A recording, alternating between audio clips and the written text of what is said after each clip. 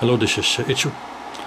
Okay, I have changed the uh, WIMA caps, the series cap, so that the yoke is now uh, resonance at uh, 26 point something 565 kilohertz, which is a 100th of the uh, resonance frequency of the grenade. And I have now uh, to 0.15 and a 0.1 microfarad cap. So we have 0.4 microfarad. And uh, this is the uh, signal across the cap the caps. 26.6 something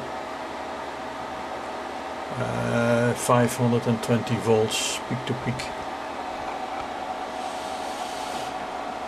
And uh, I can uh, activate now the uh, kacher.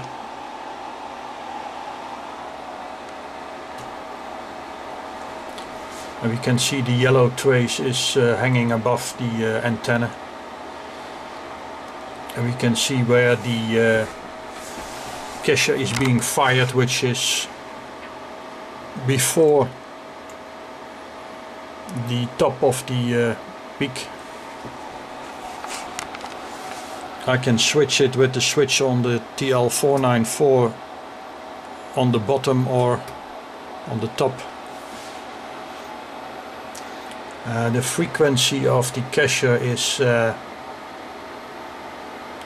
8788 which is a third of this uh, resonance frequency.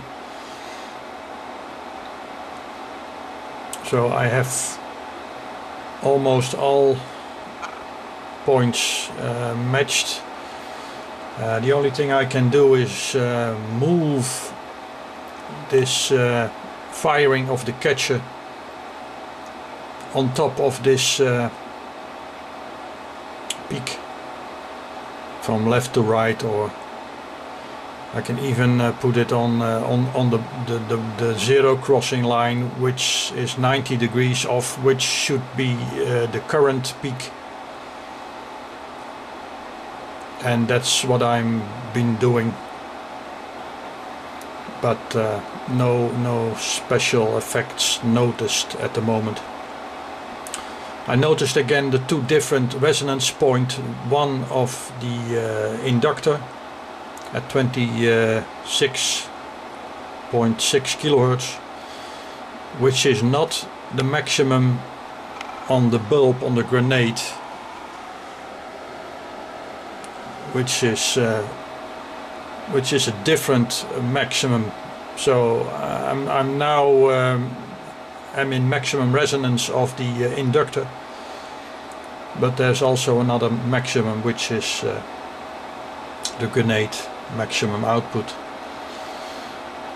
So this is where I am at the moment uh, tuning along. Thanks for watching